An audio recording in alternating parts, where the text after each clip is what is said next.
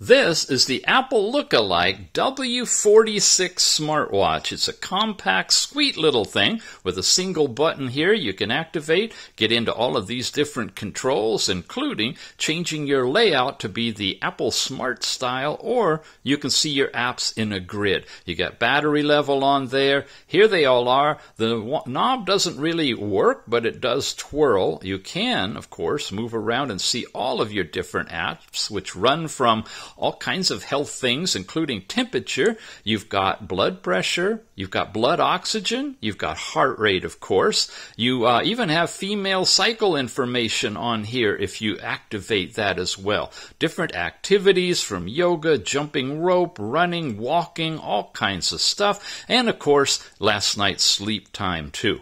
You've got many different dials to choose from, and you've got notifications pushed to you from your phone when you're tethered. It's it's a standard Apple type of a uh, watch band on this one, and lightweight and easy to use. It's called the W46. Check it out.